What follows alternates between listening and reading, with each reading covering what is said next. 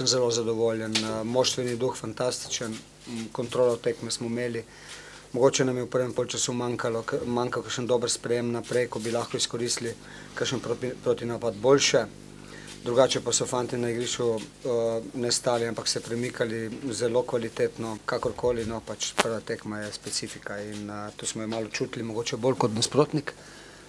Zdaj tega sem še, še bolj zadovoljen z predstavo in uh, z zmago.